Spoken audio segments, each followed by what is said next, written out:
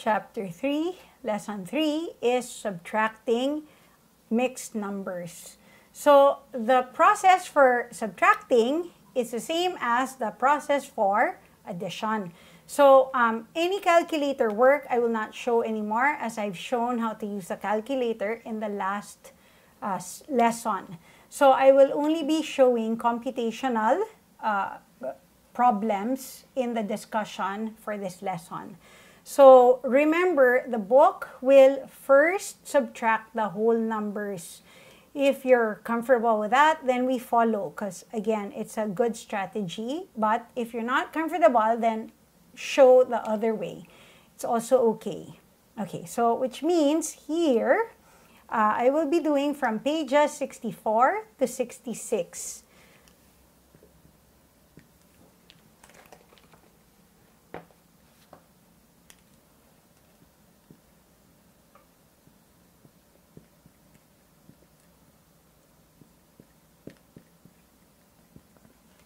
Okay, starting with 1b, it says that we're supposed to subtract and express answers in simplest form. So here, what the book will do is it'll subtract 7 minus 4 is 3. And it'll keep the 2 thirds and then minus the 1 half.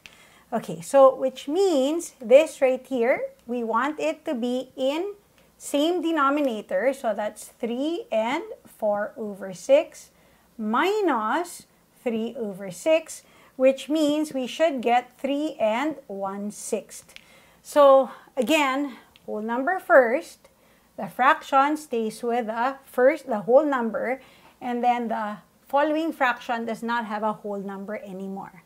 So if we look at 2a, it says find the difference between 3 and 1 fifth and 2 and 1 half. So same, this becomes 3 and 1 fifth minus 2 and 1 half.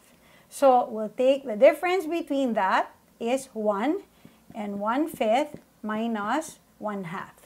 So which means this will be over 10 times 2 and times 5. Okay.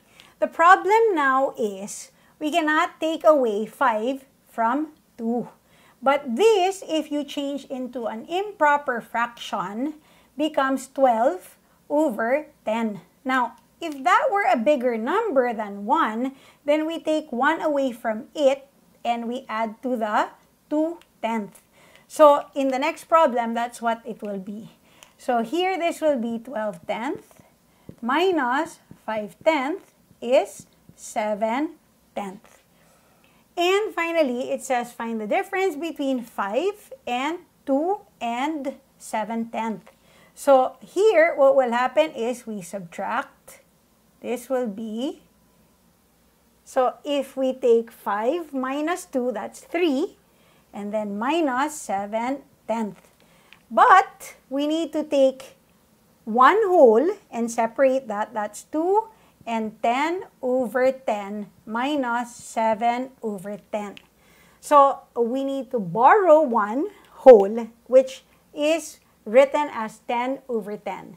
And the answer will be 2 and 3 over 10. So again, if you're not comfortable with the way that they're doing, there's other ways of doing this. There's no right and wrong here. But I've selected to discuss using the book because their strategy is actually very good strategy. If you use your calculator, you should also get the same final answer and it'll be in reduced form. All of the problems I selected, they're all in reduced form. So there's no need to divide any of the fractions to become its simplest form. That concludes lesson 3 of chapter 3, which also concludes the chapter and the module. See you in the next module.